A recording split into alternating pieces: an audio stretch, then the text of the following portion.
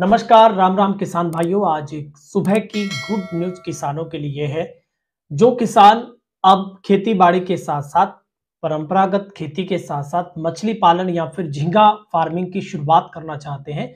तो आपके लिए मौका है सब्सिडी अब सरकार की तरफ़ से, जो सब्सिडी दिए जाने की योजना अब फिर से लागू की गई है। और इसके लिए आपको 28 फरवरी, यानी कि इसी महीने का पूरा पूरा वक्त दिया गया है। इसके लिए आपको मत्स्य पालन विभाग के साथ संपर्क करके इसकी पूरी जानकारी लेनी है और आपको फॉर्म अपना फिलअप कर देना है।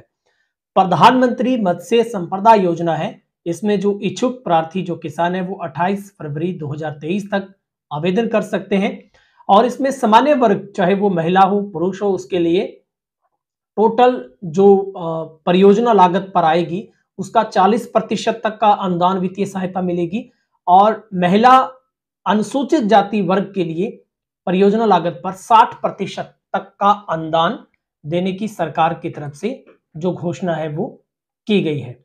मछली पालन में भारत का विश्व में दूसरा स्थान है। अगर किसान अच्छे तरीके के साथ मछली पालन करें तो कृषि से अलग पहचान बनाई जा सकती है। मछली पालन को बढ़ावा देने के लिए केंद्र सरकार की तरफ़ से इस योजना को लागू किया गया, संचालित किया गया है। इस कड़ी में हरियाणा मत्स्य पालन विभाग द्वारा मछली पालन को बढ़ावा देने के लिए प्रधानमंत्री मत्स्य संपदा योजना के तहत वर्ष 2023-24 के दौरान सब्सिडी पाने के लिए 28 फरवरी तक आवेदन पत्र जमा करवाने की आखिरी तारीख जो है, वो मुकर की गई है। मत्स्य अधिकारी के मुताबिक इस योजना के तहत किसान पटा ज़मीन पर मछली पालन करना चाहते हैं तो उन्हें सरकार से सुविधा मिलेगी। इसके लिए 28 फरवरी तक आपको आवेदन पत्र जमा करवाना है। इच्छुक किसान इस योजना के तहत मीठे पानी में मछली पालन के लिए तालाब का निर्माण खारे पानी के तालाब का निर्माण कर सकते हैं। और ऐसे में इस पूरे इलाके में अगर देखें पंजाब में हालाँकि कम है, हरियाणा में सबसे ज़्यादा झींगा फ़ार्मिंग हो रही है, जिसमें किसानों ने काफ़ी मोटा मुनाफा भी कमाया है। लेकिन यूक्रेन रूस युद्ध की वजह से इसकी कीमतों में ज़रूर गिरावट आई, जिसमें किसानों को इस बार नुकसान ज़रूर उठाना पड़ा है। लेकिन अब आगे मार्च, अप्रैल का जो महीना है, इसके लिए पूरा उपयुक्त है। अगर आप मन बना चुके हैं, सबसे पहले आपको उन किसानों के साथ विज़िट करना है। आपको ट्रेनिंग भी ज़रूर लेनी है और प्रधानमंत्री जो मत्स्य संपदा योजना के तहत निर्धारित परियोजना का लाभ दो भागों में बांटा गया है, जिसमें सामान्य वर्ग में 40 प्रतिशत की सब्सिडी मिलती है टोटल जो परियोजना की लागत आती है, और अनुसूचित जाति महिला वर्ग के लिए लगभग 60 प्रतिशत तक की सब्सिडी है, वो दी जाती है। और प्रधानमंत्री मत्स्य संपदा योजना भारत सरकार द्वारा चलाई जा रही एक ऐसी योजना है जिसके तहत मछली पालन व्यवसाय से जुड़े किसानों की आय में वृद्धि के साथ उनके जीवन स्तर में सुधार करना है। दरअसल सरकार इस योजना के अंतर्गत जलीय कृषि को बढ़ावा देना चाहती है और इसलिए जलीय क्षेत्रों में व्यवसाय को बड़े पैमाने पर बढ़ाया जा सके।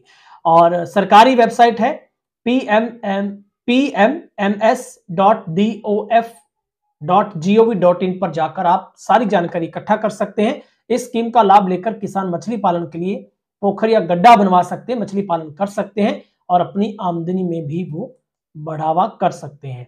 इसके लिए आपको मैं दोबारा से बता देता हूँ P double M S Y dot D O F dot G O V dot in ये आधिकारिक सरकारी वेबसाइट है, जिसके ऊपर जाकर आपको विज़िट करना, या फिर आप अपने सीएससी सेंटर पर जाकर पूरी जानकारी ले सकते हैं। और मैं एक सलाह किसानों के लिए दूँगा, आप बिना देखा देखी बिना कुछ विज़िट किए झींगा फ़ार्मिंग की शुरुआत ना करें क्योंकि इसके लिए अगर एक बार आप भूमि को परंपरागत खेती से छोड़कर इसकी तरफ़ बढ़ा देते हैं तो फिर आपको मुश्किल आना बड़ा आ, मुश्किल हो सकता है वापसी करना।